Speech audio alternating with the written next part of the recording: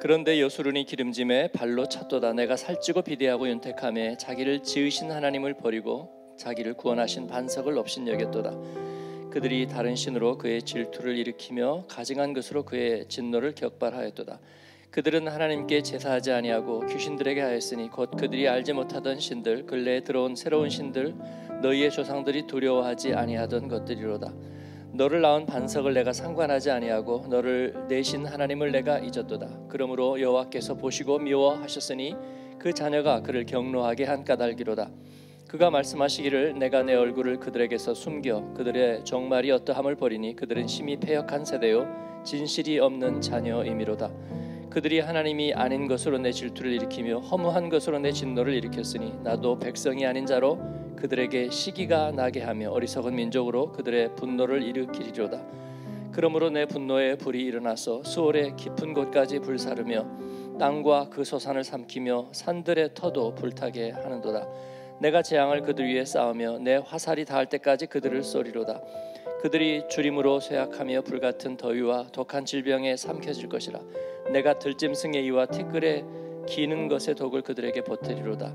밖으로는 칼에 방에서는 놀람에 멸망하리니 젊은 남자도 처녀도 백발노인과 함께 젖 먹는 아이까지 그러하리로다. 내가 그들을 흩어서 사람들 사이에서 그들에 대한 기억이 끊어지게 하리라 하였으나 혹시 내가 원수를 자극하여 그들의 원수가 잘못 생각할까 걱정하였으니 원수들이 말하기를 우리의 수단이 높으며 여호와가 이 모든 것을 행함이 아니라 할까 염려함이라 아멘.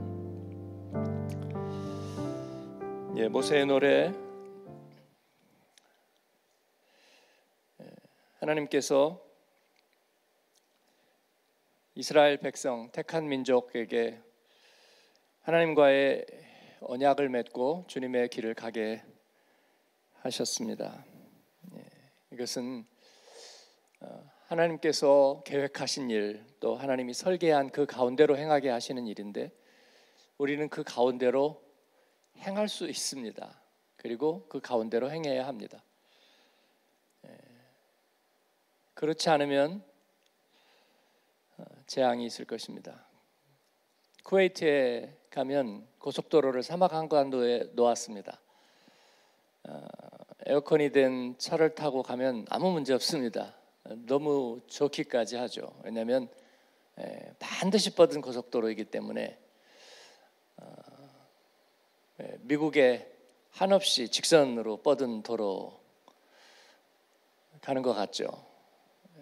그냥 90km 제한 속도 예, 크루즈로 맞춰놓고 그냥 가도 끝없이 가도 어, 길이 휘어지지 않으니까 운전하기 너무 쉬운 거죠. 예, 쿠웨이트도 그런 느낌이죠. 예, 사막 한가운데로 예, 고속도로가 반드시 돼 있어서 어, 편합니다. 차에서 내리면 굉장히 덥죠. 거기서 만약에 기름이 떨어진다든지 그렇게 해서 에어컨이 안 되고 더 이상 가지 못한다. 그러면 재앙이죠. 어, 만약에 그 고속도로가 없었다면 그 사막길을 가야 된다면 곧바로 죽음의 경계선이 찾아오겠죠. 그러면 그 편안하고 어, 안전한 길이 바로 어, 죽음의 노래가 될 것입니다. 어, 너무 과장스럽냐? 하나도 과장스럽지 않습니다. 삶은 경계선입니다. 우리가 어, 태민이를 위해서 기도했는데 어, 부모가 아닌 사람은 어, 다들 마음이 저렸을 거예요. 왜냐하면 자식을 키웠으니까 또 어려운 상황들을 여러 번 겪었기 때문에 실감은 충분히 하죠. 그래도 그 순간에 부모와 같은 실감은 할 수가 없죠. 예, 부모는 예, 한순간도 눈을 뗄 수 없는 거죠. 아, 극단적인 상황을 생각하지 말자, 생각하지 말자. 그러지만 이 엄습해오는 예, 그런 두려움에 대해서 1초도 자유할 수가 없는 거죠. 어, 가서 보니까 엄마에게는 벌써 다크서클이 가득하고 어, 그래도 굉장한 집념 어, 내가 지켜야 한다는 예, 그런 의지 이런 게 아주 굉장히 어, 전투에 나간 예, 군인의 눈빛처럼 이렇게 얼굴에 서려 있죠. 어, 순간순간이 굉장히 긴박합니다. 저는 의사가 아니지만 임종 환자들을 자주 대하는데 결국 마지막에 간의 문제가 생겨서 어, 돌아가시더라고요. 예, 더 이상 이제 간이 기능하지 않으면서 대부분 마지막이 오는 것을 봤어요. 다른 증세로 어, 병환이 있더라도 또 암이 있더라도 마지막에는 간이 기능하지 않는 거죠. 어, 어린 아이가 간이 점점 점점 기능하지 않으니까 아마 아, 순간순간이 예, 이제 죽음 앞에 서게 되는 물론 의사들이 컨트롤 하고 있지만 예, 아마 어제 아침 8시에 그 장기가 도착하고 보니까 8시 50분에 수술실에 들어갔다 그래요. 어, 제 생각에 얼마나 긴박했었는가 하는 것을 알 수가 있죠. 의료진들이 음, 열어보고 본인의 간이 조금이라도 괜찮으면 일부라도 남겨놓겠다고 그랬다고 그래요. 근데 하나도 기능이 되지 않았다 그래서 전부 다 잘라내는. 그래서 크기에 맞게 그 이식용 장기를 크기에 맞게 잘라서 어, 이식했다. 어. 그러니까 하나도 쓸모가 없었다 하는 것은 얼마나 긴박했는가 하는 것도 얘기해 주는 거고요. 예, 하루가 다른 거니까 예. 어, 아찔하고요. 어, 많은 분들이 예, 우리 순장방에 예, 뭐 거의 모든 사람이 수십 건의 이렇게 기도 기도가 쭉 달려서 우리가 기도했던 것처럼 어, 그런 긴박한 상황에서의 절묘한 타이밍 어, 이건 무슨 말로 표현할 수가 없는 거죠. 그냥 그야말로 에, 삶과 죽음의 경계선 그런 거죠. 에, 그렇고 보니까 여러분도 저도 순간순간 삶과 죽음의 경계선을 계속 계속 지나가고 있는 거죠. 예. 예. 그것은 미화할 수도 없고 네, 과장할 수도 없는 것입니다. 하나님께서 우리에게 아, 죄와 은혜의 경계선에 대해서 분명하게 얘기해 주고 계십니다. 예, 그건 사이비 종교나 아니면 미아리 점쟁이들이 하는 짐짓 겁박하고 예, 과장하는 그런 인간 운명에 대한 그런 이야기들이 아니라 하나님께서 우리에게 주신 예, 존귀하고 부르심 받은 인생에 대한 사랑하고 그리고 존귀하기 때문에 정말 그 가운데로 행해야 되는 거죠. 어, 너희는 그가 지으신 바라. 에베소서 2장 10절은 그렇게 얘기하죠. 어, 그리스도 안에서 하나님의 선한 일을 위하여 우리는 지으심을 받았습니다. 이는 하나님이 오래전에 준비하셔서 너희로 그 가운데로 행하게 하려 하심이니라. 사막 한강 가운데 직선으로 뻗어 있는 안전한 길로 행하게 하려 하심이니라. 표지판도 써 있고 미리 경고도 다 돼 있어요. 얼마 동안 주유 수 없으니까 주유 충분히 해라. 혹은 몇 리터 이하의 차를 그러니까 몇 리터 이하 주유할 수 있는 차를 가지고 가는 사람은 미리 예비 스페어 기름을 준비해 가지고 가라. 그렇지 않으면 큰 일을 당할 수도 있다. 그대로 지켜야 되는 거죠, 여러분. 어, 여행을 가거나 출장을 갈 때 여러분이 챙겨야 되는 물품 목록들이 있을 겁니다. 업무에 관련된 일도 있고 또 개인에게 필수적인 것도 있습니다. 어, 제가 남아프리카 공화국의 선교 대회에 강사로 예, 가야 되었던 적이 예, 한 10년 전인가요, 벌써? 네. 예, 공항에 이제 가면서 어, 그때 오스트리아 비인에서 제가 주례를 하러 갔다 와야 됐는데 비행기가 또 늦었어요. 갔다 오니까 시간이 얼마 남지 않았는데 어, 집에 가서 짐을 가지고 나오는데 우리 교역자들이 하나씩 들고 나왔는데 여권이 들어있는 가방을 놓고 나온 거예요. 공항까지 가니까 이미 시간은 다 됐는데 여권이 없다는 것을 알았습니다. 예, 그래서 제가 예, 교회차 어, 카니발이 있었죠 그때. 예, 그걸 제가 받아가지고 어, 날라가듯이 갔다 왔습니다. 당연히 속도 위반했죠. 200km로 갔다 왔으니까. 예, 갔다 와서 공항에서 기다리고 있는 우리 부목사님에게 차를 주고 그냥 바로 예, 공항 안에서 전속력 영화처럼 달렸습니다. 그래가지고 예, 검색대 또 통과하고 그렇게 갔더니 게이트 문 닫기 바로 직전이었어요. 마지막 사람 이렇게 들어가고 있는데 꽁무니에 탁 가서 됐습니다. 네. 그 다음부터 우리 부목사님들이 제가 어디 가면 여권은요, 여권은요 하고 꼭 물어보죠. 네. 제가 여권 들은 가방은 그래서 안 맡기려고 그래요. 제가 꼭 들고 가려고 합니다. 아, 임시 비자를 받은 분들이 공항에서 어, 걸리는 경우들을 봤어요. 이미그레이션에서 걸려가지고 어려움을 당하는 경우도 봤고요. 우리 아프리카에 단기 선교 갔을 때는 카메룬에서 우리 의사로 따라간 이정원 집사님이 비자를 하지 않았어요.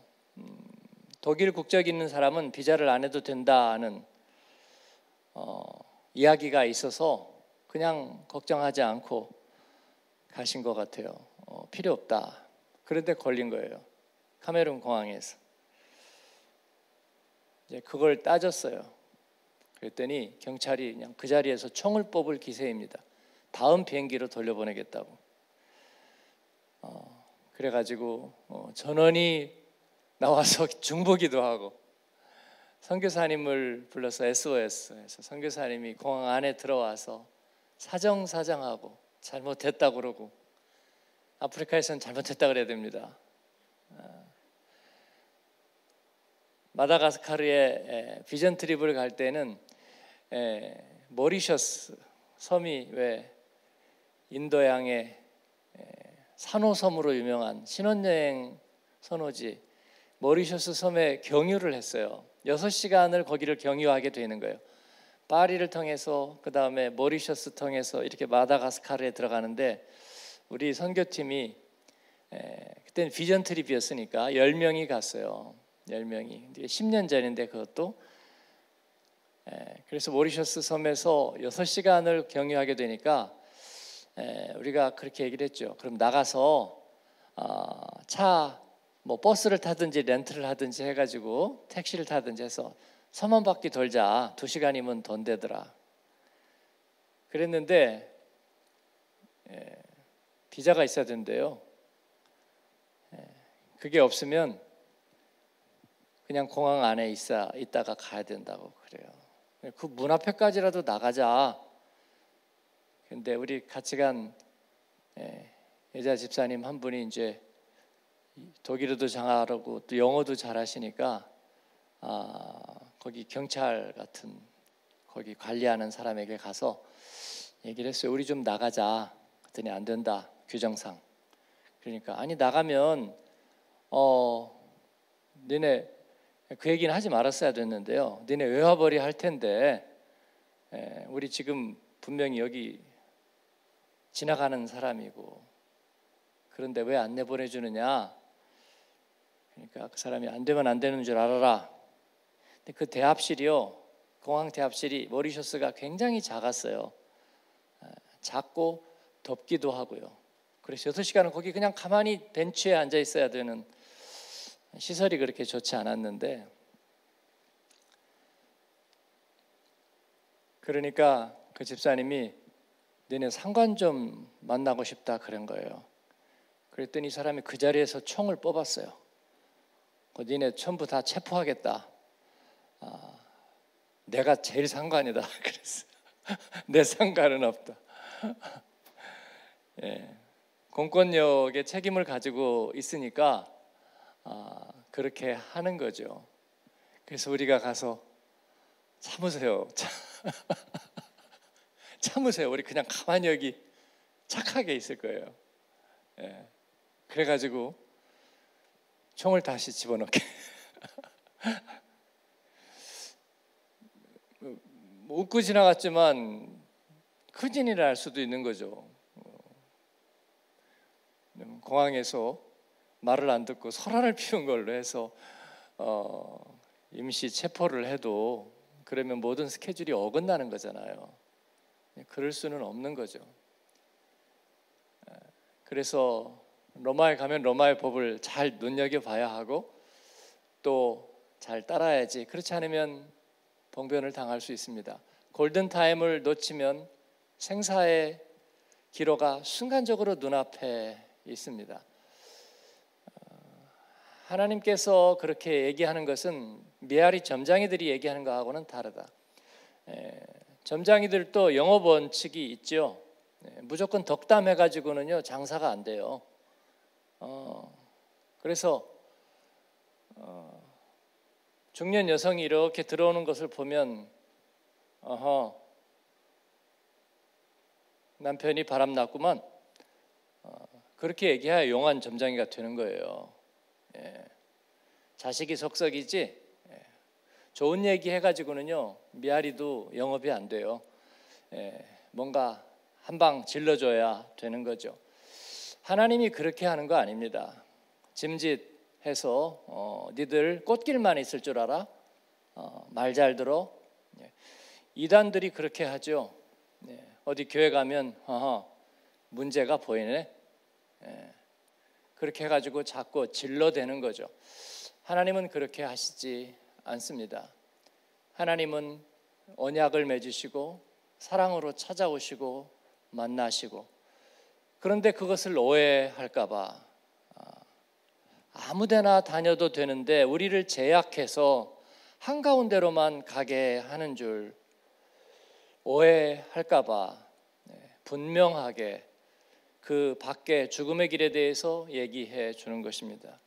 수술 받을 때 마취 동의서에 보면 우리가 죽음 당할 수 있는 일에 대해서 분명하게 적시하고 얘기해 줍니다. 의사가 와서 에이 이거 다 잘 돼요. 이런 일 하나도 없어요. 예, 그 그냥 신경도 쓰지 마세요. 그렇게 얘기해서는 안 됩니다. 분명하게 얘기하죠. 경찰이 체포하거나 구금할 때 미란다 원칙 얘기해야 되는 것처럼 의사도 분명하게 당신이 이 의료 행위가 삶과 죽음의 경계선 안에 있다는 걸 당신은 알아야 합니다. 라고 얘기해 줘야 되는 거예요. 예, 마취하다 못 깨어난 사람 거의 없지만 그러나 분명하게 매 순간 그럴 수 있다는 것을 오늘 우리가 하나님의 은혜 안에 있지만 비은혜로 나가면 우리가 저주와 그리고 원수마귀 사탄의 시험과 괴계와 수렁에 빠질 수 있다는 것은 분명한 것입니다. 사랑하는 여러분, 우리가 그 사실을 알아야 되겠습니다. 왜 은혜 하나님이 우리에게 그렇게 하시는가? 하나님의 은혜를 주셨기 때문에 비은혜가 시작되는 거예요, 여러분. 네? 생명의 길이 열렸기 때문에 죽음의 길이 더 도드라지는 거예요. 그래서 우리가 말씀의 길에, 말씀 안에 깨어 있어야 되는 것입니다. 그런데 먼저 믿은 순서대로 둔감해지기 시작하고 예배에 대해서 임의대로 생각하고 그리고 하나님을 선택지로 생각하는 그런 습성은 우리 안에 영성을 폐하게 합니다. 하나님이 제일 싫어하는 일이죠. 신앙인의 삶의 언어가 클리셰로 가득 차는 것. 즉, 세상적인 상식적인 말들로 가득 차는 것. 그래서 모든 것이 사실은 부정의 언어가 되는 것. 하나님이 제일 기뻐하시지 않습니다. 요한 3서에 보면 장로 둘이 나오는데 가이오 장로와 디오드레베 장로입니다. 하나님 사랑하고 그리고 복음을 영접했기 때문에 그들이 둘 다 장로가 되었을 터인데 가이오는 모든 사람에게 칭찬받는 선한 통로가 되어 있고 디오드레베는 악한 사람이 되어 있습니다. 사도에게 거스리고 주의 일을 회방하는 일꾼으로 서 있습니다. 왜 그렇게 되었는가? 부정의 마음을 주었기 때문입니다. 하나님의 일에서 마음이 느슨해져 있기 때문입니다.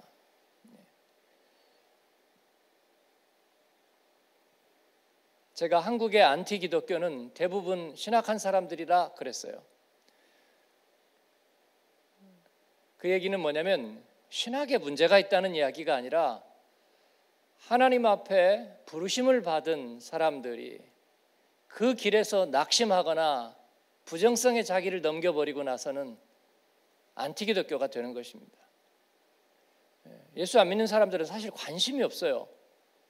뭐 신문에 무슨 얘기가 나도 그런가 보다 뭐 그 정도 하고 넘어갑니다. 근데 그걸 가지고 안티를 하는 사람들은 분명히 어, 내부자들이에요. 성경을 인용하면서 이렇게 저렇게 얘기를 하는 걸 보면 예, 내부자란 말입니다. 하나님의 길에서 예, 잘못된 길로 벗어난 사람들이죠. 예, 영성은 선택이 아닙니다. 오늘 기도할 수도 있고 말 수도 있고 내가 순종할 수도 있고 불순종할 수도 있고 그런 일이 아닙니다. 예, 선악과는 먹어서는 안 됩니다. 하나님의 영역이니까 은혜 안에서 잘 살 수 있는데 왜 다른 걸 바래요? 하나님 우리에게 생명의 길을 주셨는데 왜 자기가 중심을 가지려고 그래요? 그러면 안 되죠. 하나님 앞에 순종하고 그 가운데 길로 행해야 하는 것이죠. 여러분 이스라엘을 향한 이야기입니다. 여수룬을 향한 이야기예요. 바람을 거슬러 가기 시작하면요. 자전거도 못 합니다, 여러분. 자전거도. 뒷바람 맞고 갈 때는 모든 게 잘 됩니다. 그런데 돌아서서 거스르는 순간 자전거도 못 타요, 자전거. 바람을 거스르고 자전거 타기가 얼마나 힘든지 모릅니다. 예. 일생 동안 군대 가서 공찬 얘기한다는데 공도 못 차요. 바람, 맞바람이 불면. 그래서 하나님께서 우리에게 주시는 길은 순방향, 순풍입니다. 오늘 말씀은 그와 같은 이야기지요. 예. 하나님께 온전하게 예배하고 하나님을 향하여 산 제사를 드리도록 했는데 귀신들에게 하듯이 함은 어찌함이고 또 하나님이 이름을 두시려고 택하고 구별하신 곳에서 예배하게 했는데 그들은 푸른 나무 아래 마치 몰래 숨어서 행음하는 범죄자처럼 은밀하게 우상들을 섬기고 자기들의 욕망을 숭배하니 이것이 어찌된 일인가? 하나님이 보고 미워하고 경로하실 것이다 하는 거죠. 예. 그렇게 하지 않으면 됩니다. 어려운 일 하나도 아닙니다. 하나님의 은혜 안에 있으면 우리가 피할 수 있는 일인데 이 경고를 한 번은 보아야 되겠습니다. 자주 묵상하면요 또 우리 안에 부정성이 돼요. 그래서 예, 부정성은 일생에 도움이 안 되는 거예요, 여러분. 예, 아무리 의로운 목적을 위해서라도 부정적인 얘기를 하게 되면 우리 안에서는 하나님이 거하실 곳이 없어요. 왜냐하면 마음에 자꾸 가시가 생기기 때문에 하나님이 사랑할 만한 요소가 없어지는 거예요. 그렇지요? 네. 그래서 주의 일을 맡은 사람들이 경계해야 될 것은 항상 내 안에 가시가 생기지 않아야 된다는 거죠. 네. 하나님이 이스라엘 백성의 마음에 가시를 덧치게 하시려는 것이 아니고 예, 그 부작용과 그릇된 길에 대해서 강력히 경고하시는 것입니다. 하나님이 그렇게 하지 않으면 되지 않느냐, 그러지 않을 길도 주시면 되지 않느냐, 그러려고 합니다. 하나님은 그러려고 합니다. 그게 제2의 출애굽이고, 그리고 다시는 점과 덕록이 설지 않는 하나님이 관리하시는 영성으로 우리를 이끌어 주시려 하십니다. 성령을 보내 주셔서 다시는 우리가 헛된 미망에 사로잡히지 않도록 부정성에 미혹당하지 않도록 선익분기점을 넘어가게 하십니다. 그게 성령 충만입니다. 그래서 우리는 성령 충만을 사모합니다. 늘 그 슈벨레에서 불신앙과 은혜의 그 경계선에서 거기에서 늘 괴로움 당하는 그런 영적 생활 하고 싶지 않습니다. 주님의 교회는 그래서 그래야 합니다. 늘 옳고 그른 것 따지는 사람들이 많아지면요. 예, 영적 생활이 아니라 힘든 생활이 되면 이건 세상도 아니고 어디도 아니고 그래서 우리는 그렇게 하지 않습니다.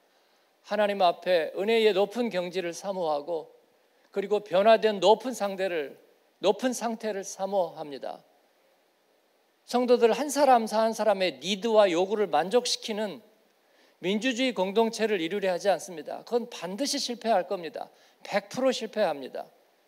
교역자들은 민원 받는 민원 담당자들이 아닙니다. 하나님 앞에 높은 표준을 가지고 가는 대표자들입니다. 이게 죄와 부정성에 빠지지 않는 유일한 길인 거예요. 하나님 앞에 우리가 가지 말아야 될 길은 분명히 얘기하고 그리고 우리는 높은 표준을 향해서 나의 발을 사슴과 같게 하사 나로 나의 높은 곳에 다니게 하시는 그 하나님을 따르는 것이지요, 여러분. 세상은 100% 변화되지 않습니다. 이건 주님이 말씀하신 거예요. 세상이 100% 변화되지 않은 것이 교회와 주님의 책임이 아닙니다. 그들이 멸망의 길에 서 있는 것이죠. 우리에게 주신 사명은 무슨 사명이냐? 비난하고 불신앙에 빠져서 정죄하는 이들에게 우리가 미안한 마음 갖고 사는 게 아니고 우리는 하나님의 사람으로서 대표자로 살면 되는 것입니다. 그렇죠? 병원이 병을 앓고 있는 사람에게 미안해야 될 책임이 어디 있어요? 없죠. 네. 그들을 고치는 이로 서 있으면 되는 것입니다. 도덕적인 사람이 비도덕적인 사회에 미안한 마음을 가져야 될 이유가 뭐가 있어요, 여러분? 그렇죠. 그런데 이 세상이 그리스도인들에게 보따리 내놓으라고 그러는 것입니다. 니들이 더 잘했으면 세상 더 좋아졌을 거 아니야. 아니죠. 화 있을 진저입니다. 우리는 하나님 앞에 의의 길을 제시하고 그리고 주님 앞에서 우리도 의의 길을 가는 것입니다. 이스라엘 백성은 그렇게 하면 됩니다. 그게 제사장 나라의 모습입니다.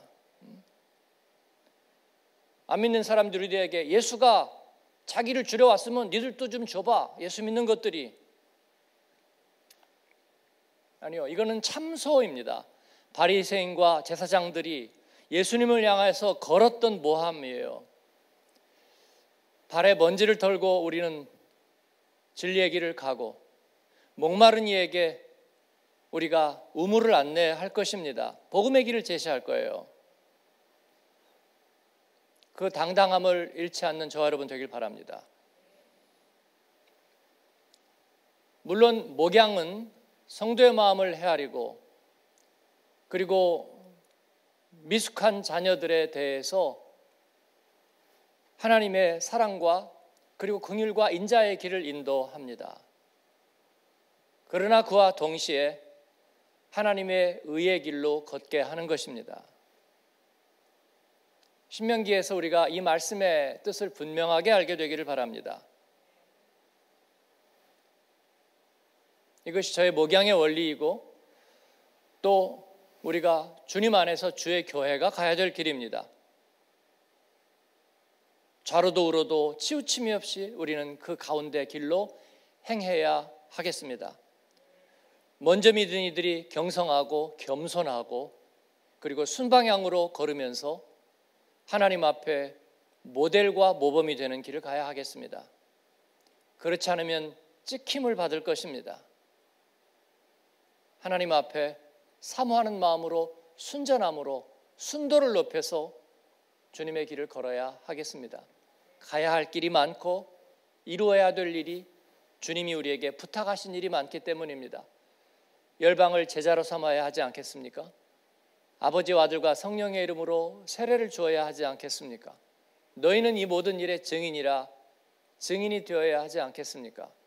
주님은 세상을 다 변화시켜라 그러지 않았습니다.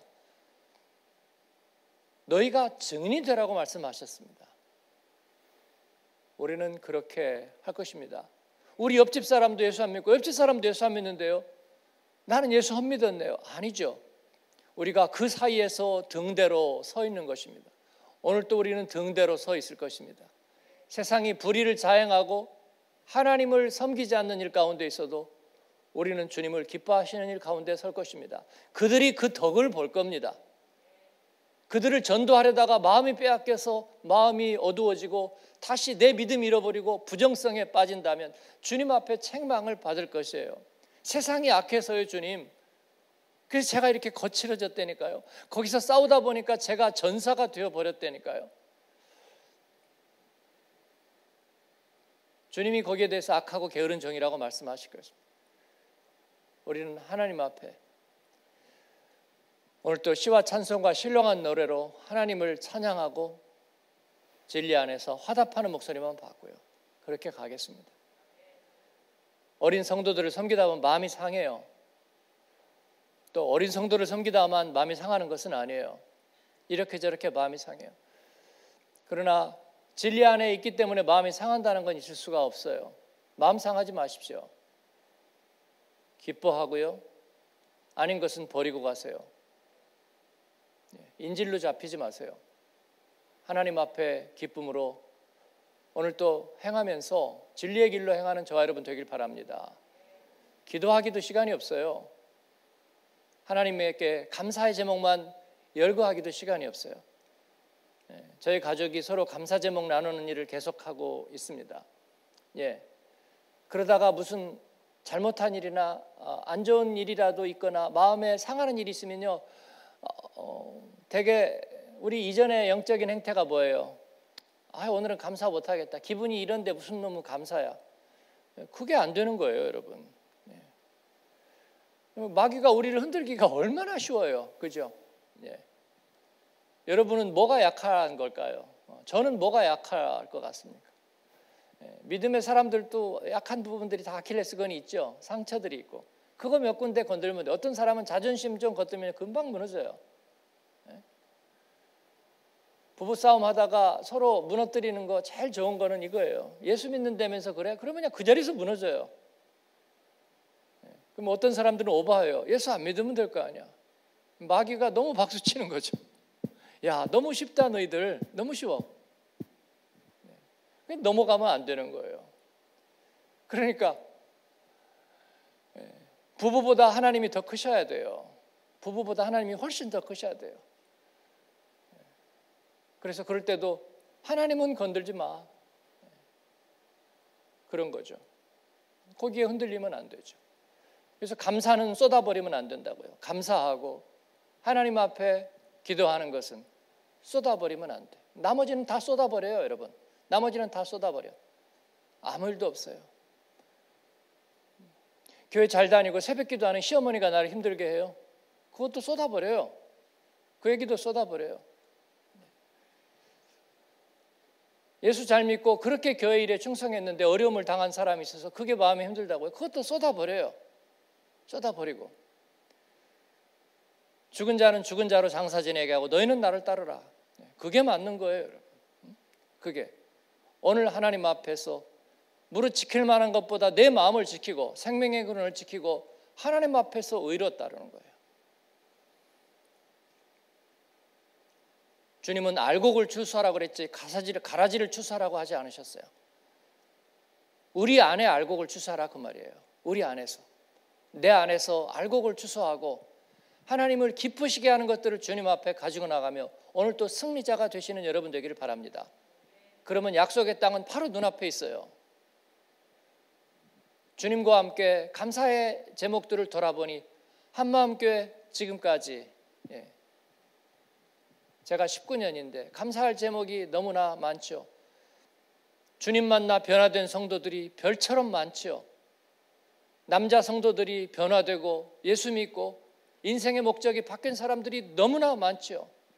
그 모든 것들이 아라리 감사의 제목이고 그리고 주님이 보여주신 천국의 비밀들이지요. 그러지 못한 것은 없었느냐고요? 기억이 안 나는데요. 예. 그 모든 것들은 다 쏟아버려요, 여러분. 그렇죠? 네. 무풍지대처럼 하나님 앞에서 좋은 시간들을 보냈습니다. 그 패턴대로 앞으로도 그러할 것입니다.